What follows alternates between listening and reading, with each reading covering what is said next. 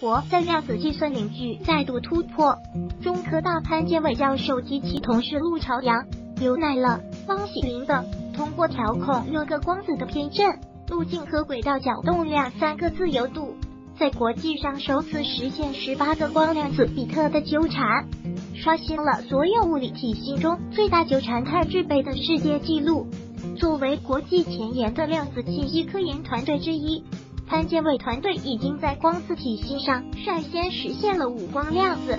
光量子、八光量子和十光量子纠缠，一度保持着国际领先水平。此次实现十八个光量子比特的纠缠，该成果可进一步应用于大尺度、高效率的量子信息技术，表明我国继续在国际上引领多体纠缠的研究。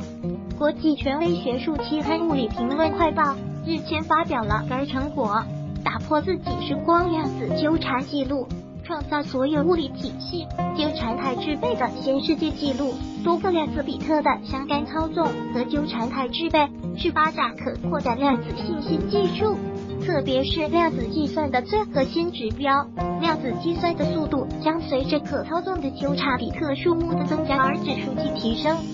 但要实现多个量子比特的纠缠，需要进行高精度、高效率的量子态制备和独立量子比特之间相互作用的精确调控。同时，随着量子比特数目的增加，操纵时所带来的噪声、串扰和错误也随之增加。这对量子体系的设计、加工和调控要求极高，成为量子纠缠和量子计算发展的巨大挑战。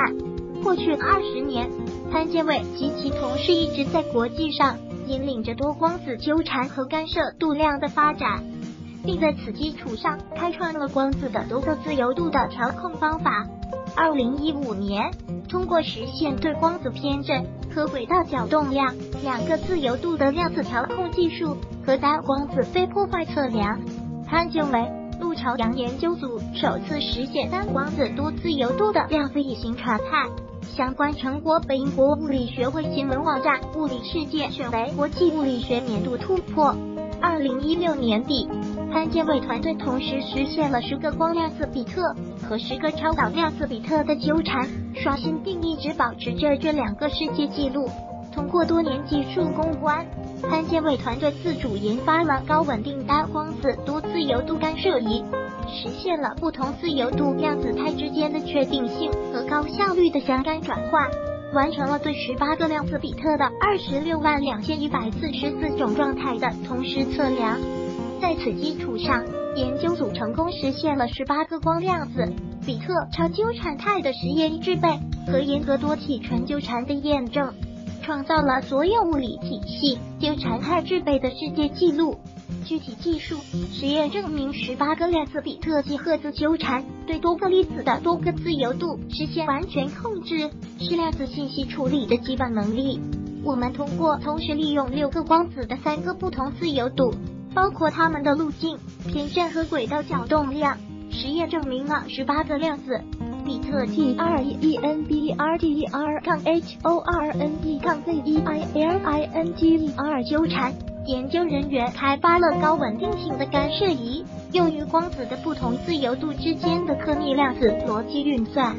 其精度和效率接近于一，可以同时读出十八个量子比特状态产生的二幺八等于二十六万两千一百四十四种结果组合。测量到的量子态保真度为零点七零八加减零点零一六，证明全部十八个量子比特的真实纠缠。图一。用于创建和验证由六个光子和三个 B O F 组成的十八量子比特级赫兹态的方案和实验装置。上图中展示了用于创建和验证由六个光子和三个 B O F 组成的十八量子比特级赫兹态的方案和实验装置。其中，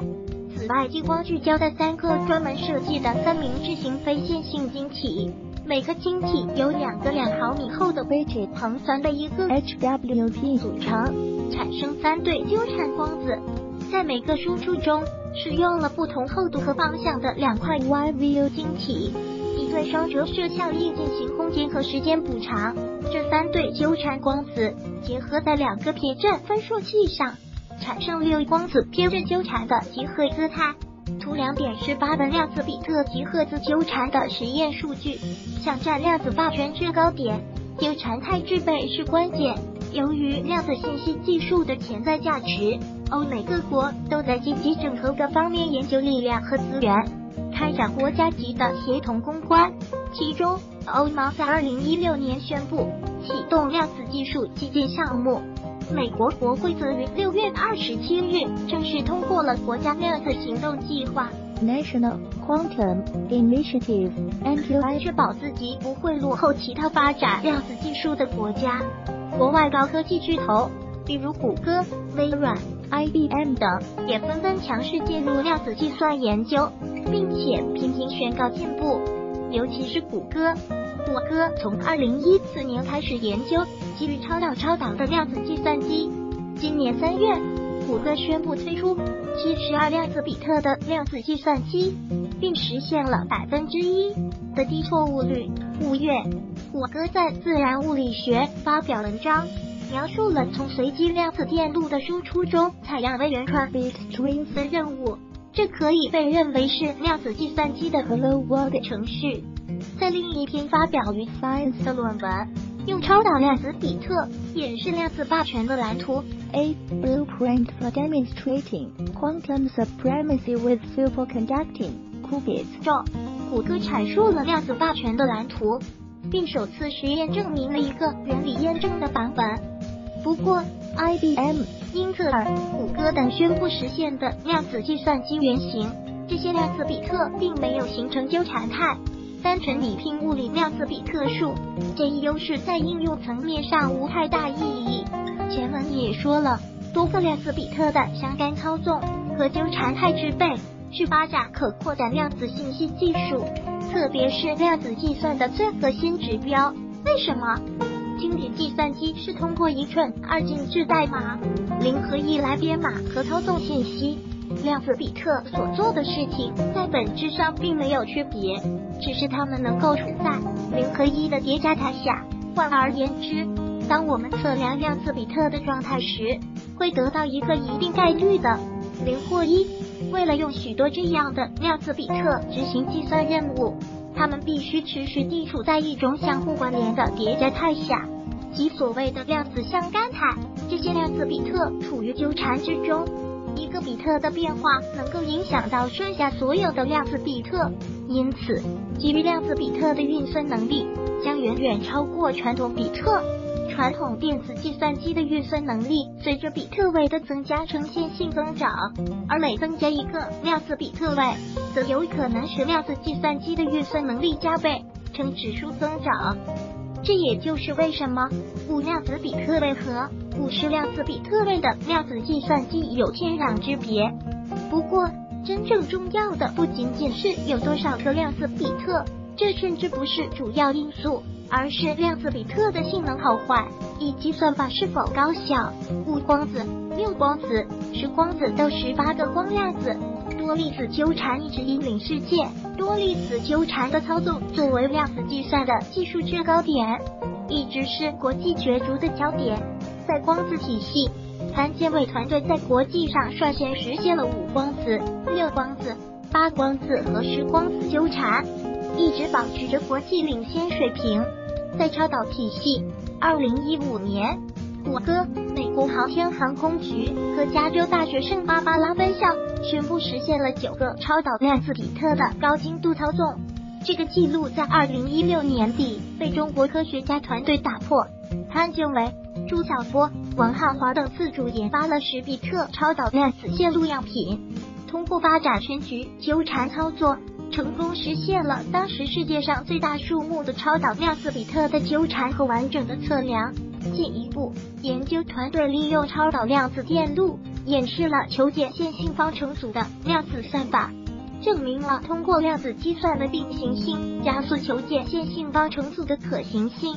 相关成果也发表于国际权威期刊《物理评论快报》。五十个光子纠缠能让量子模拟机计算能力超越天河二号。潘建伟说。这是历史上第一台超越早期经典计算机的基于单光子的量子模拟机。为最终实现超越经典计算能力的量子计算奠定了基础。多光子波色子采样的实验装置示意图，该设置包括四大关键部分：单光子源、多路复解机器、超低损耗光子测量阵列和光子探测器。二零一五中国计算机大会上，潘建伟发表报告：量子计算与量子模拟，并表示由于高精度量子操控技术的极端复杂性，目前量子计算研究仍处在早期发展阶段。像经典计算机那样具有通用功能的量子计算机，最终能否成功，对整个科学界还是个未知数。但是理论研究表明，与通用量子计算机相比较，量子模拟机这样一类针对解决一些重大问题的专用量子计算机，在量子比特数目等方面的技术要求并没有那么高。例如，对波色取样这样的问题，一旦达到五十个左右光子的纠缠，量子模拟机的计算能力就能超过天河二号超级计算机。潘建伟说，量子模拟具有重大实用价值。可为人类开发新材料和新能源提供重要指导、孕育和推动物质科学领域新一代技术革命和产业变革，有望在十至十五年内取得重大突破。这次实现十八个光量子比特的纠缠，无疑是朝着这一方向发展所迈出的有力一步。如果喜欢本视频，请分享并订阅本频道，访问 T T News X Y Z 获取更多相关资讯。